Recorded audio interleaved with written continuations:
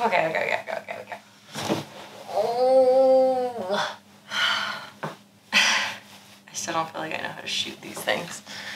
Happy one year anniversary of the channel. And now I'm gonna cry.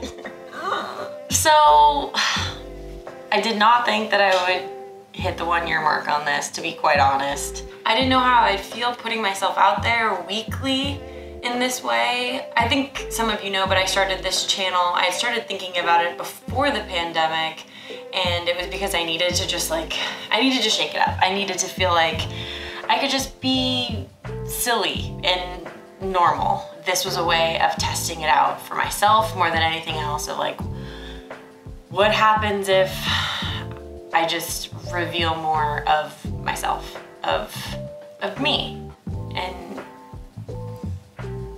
Okay to be me? And it seems wild how scary that felt a year ago. That a year ago, I was calling friends panicked, being like, I don't know, like I think I'm gonna be rejected and people are gonna hate me and blah, blah, blah. And I'm sure all those things happened. Uh, but also I'm fine. or no, I'm better than fine. I'm great. We had fun. I had fun. I have got to do things that I never would have done otherwise, prioritize things that are fun and enjoyable. There were so many great moments and I got to meet so many incredible people. The ones that I met were compassionate, creative, incredible people and it was just this whole new world that I made so many friendships in and a community in and I'm grateful that we had this time together. I'm saying all of this, I think you get where I'm going. It's the one year anniversary and at this exact time, I'm gonna have to slow down on this. I can't keep up with doing videos weekly. Um, I gotta go back to my job, my first job, my acting job. I am sad about it.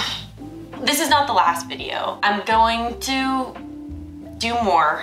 It's just, it's not gonna be able to be on a weekly schedule. I, I, would love to keep making things, keep collaborating with people. The podcast, Learning Lots, will still be going bi-weekly.